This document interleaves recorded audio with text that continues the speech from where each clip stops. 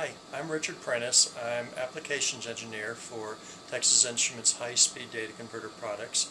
And today we're going to be demonstrating the setup and use of our new low-cost uh, suite of tools, our High-Speed Data Converter System Evaluation Kit.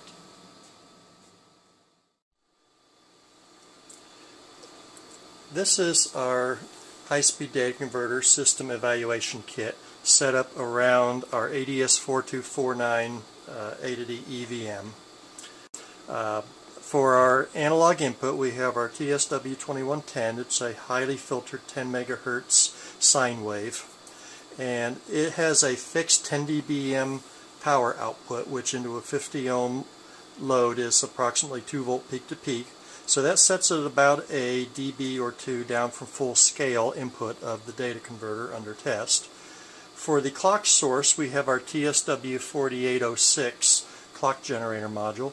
It is built around the LMK4806 clock chip, and it is set up by default to provide a 245.76 megahertz uh, highly filtered clock to the data converter. It has an optional GUI through a USB port that it can be programmed for different uh, frequencies if needed. For the power source, we have our TSW2200, which for convenience powers off a standard laptop brick, a 19 volt laptop brick.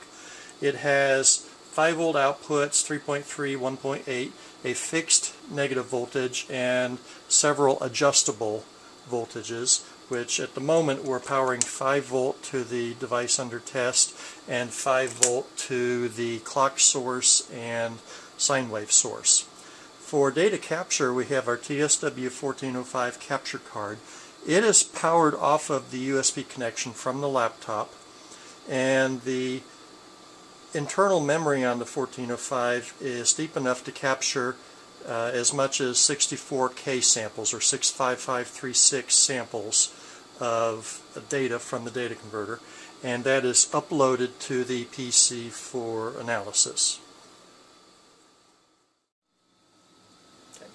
So let's power on our system evaluation kit and now I'm going to go over to the PC and launch the High-Speed Data Converter Pro uh, capture card GUI and the first thing it's going to do is find the USB connection to the TSW1405, so I will accept that.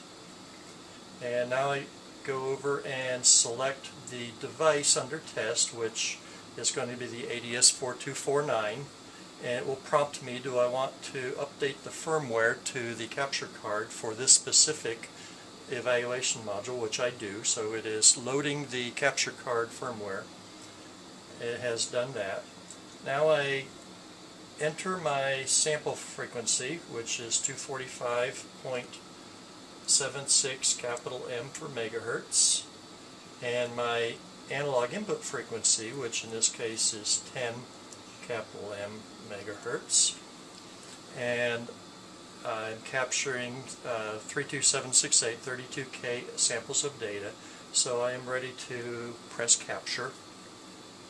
And the capture card has loaded in uh, 32768 samples of data from the data converter. And the first uh, window, the first display is the frequency domain. So here's the FFT.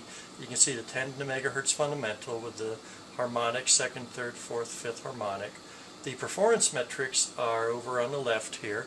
Uh, in this case I got a signal noise ratio of 70.3 dB full scale and a spurious free dynamic range of about 84 dBc, so 84 dB from the input tone down to the worst spur, which is in this case the second harmonic.